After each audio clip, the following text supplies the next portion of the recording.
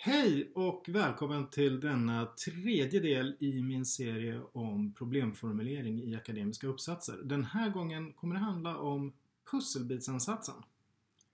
Pusselbitsansatsen kan sägas vara klassikern bland problemformuleringsansatser. Kom ihåg dock, som jag påpekade i första föreläsningen, att det är en skillnad på process och resultat. Det vill säga de flesta undersökningar som du hittar i akademiska tidskrifter kommer se ut som en pusselbitsansats, men det är inte nödvändigtvis så att det var så det gick till när man formulerade problemet. Hur som helst, det här är klassikern. Idén om att det vetenskapliga kunskapspusslet saknar en bit och i pusselbitsansatsen visar man konturerna av den här saknade biten och lägger den på plats. Det innebär att pusselbitsansatsen alltid har en tydlig utgångspunkt i litteraturen och måste baseras på en eller annan slags litteraturöversikt. Den här litteraturöversikten betyder också att det krävs ganska mycket inläsning på ett område för att man ska kunna skriva en problemformulering utifrån pusselbitsansatsen.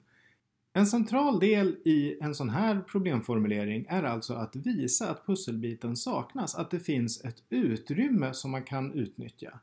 Det här kallas ibland för CARS-modellen. Wow, Cars! Checkered flag, here I come! Eh, nej. CARS kommer från den här boken av John Swales. Konceptet CARS står för Creative Research Space och Swales baserar det här på en ganska omfattande studie av vetenskapliga artiklar inom ingenjörsvetenskap, medicin, biologi, psykologi, litteraturvetenskap och så vidare. Och han har tittat på hur man strukturerar problemformuleringar mer generellt. Och Swales menar på att det börjar med att man i texten försöker etablera ett territorium, det vill säga ett område, ett kunskapsområde som problemet kommer beröra. Det här territoriet kan skrivas fram till exempel genom att forskning, man beskriver hur forskning växt fram över tiden eller hur forskning är indelad i olika teman som behandlar olika delområden eller olika fenomen. Nu kan vi säga att etablerandet av territoriet, ja, det är liksom pusslet i dess helhet som det ser ut hittills. Nästa steg är att argumentera för just den här saknade pusselbiten och det gör man genom att etablera en nisch. I det här steget så måste man alltså visa att det är någonting som saknas. Man kan argumentera för att litteraturen är ofullständig, att det finns fenomen som ännu inte studerats, som man då vill lägga till studier av. Eller man kan diskutera litteraturen och säga att den är bristfällig, det vill säga att den kanske är korrekt men det är centrala element som exkluderats. Säg att vi till exempel har tittat på kunders köpbeteende i butiker och man noterar att studierna hittills visar på att kön är viktigt och att ålder är viktigt. Men man kanske vill lägga till en variabel rörande exempelvis etnicitet.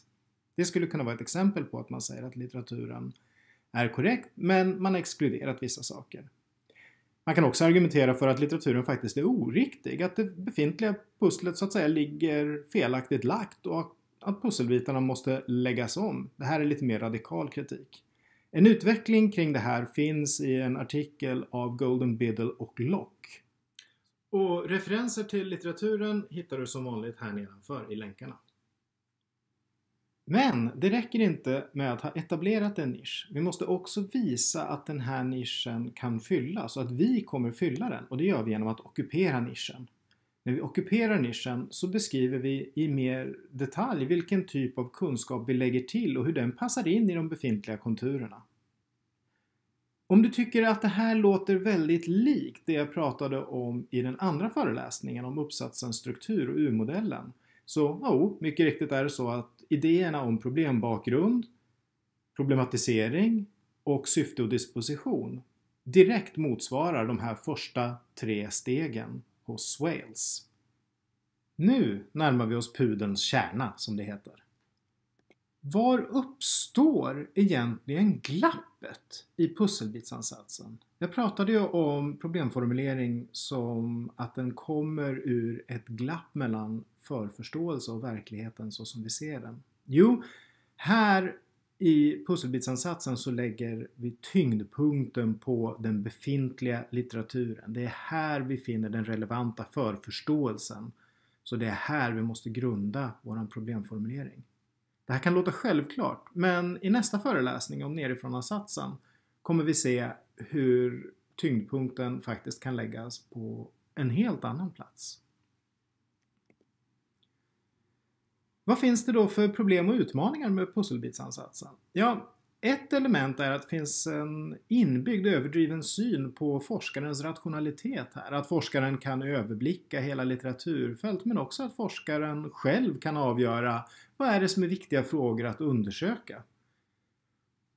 Det här finns det praktiska problemet. Hur gör vi för att säkerställa att vi har funnit all den relevanta litteraturen? När vi argumenterar för att det saknas en pusselbit, beror det på att det saknas en pusselbit eller på att vi inte hittat den pusselbiten?